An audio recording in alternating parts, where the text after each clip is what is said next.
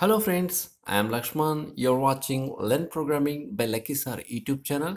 I hope you are enjoying my videos. So please subscribe to our YouTube channel and click on bell icon to receive new videos through notification.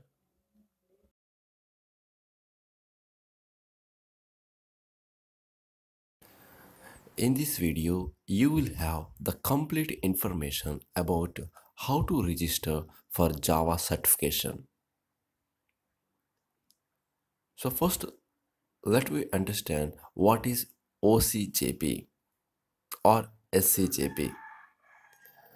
OCJP or SCJP is the Java certification for Java SE 6 version. This is the old certification exam. If you are interested in writing Java certification for the latest version, please consider writing for the Java SE 8 version, which is OCAJP 8 and OCPJP 8. After Java SE 6, OCJP has been split as OCAJP and OCPJP. We have two programmer exams. Then you might have question rise which exam to take first. OCJP is the old version of the exam.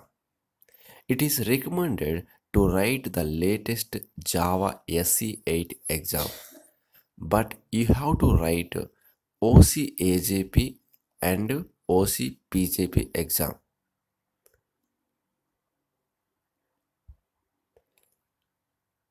The procedure for all the Java certifications are same. Now let's see how to register for Java certification step by step. The step 1 is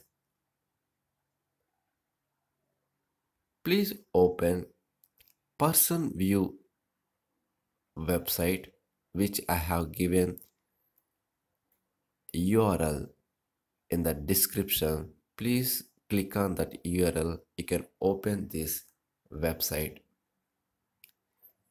If you are first time visitor then click on create an account. If you are already registered then click on sign in then my account enter username and password. After that you can see this type of window. Then click on proctor exam.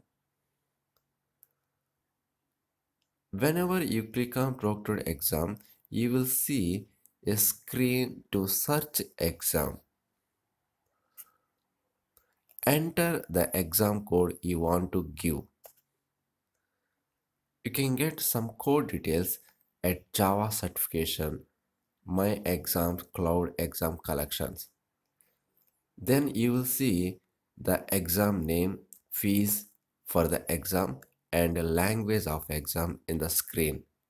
Then click on schedule this exam.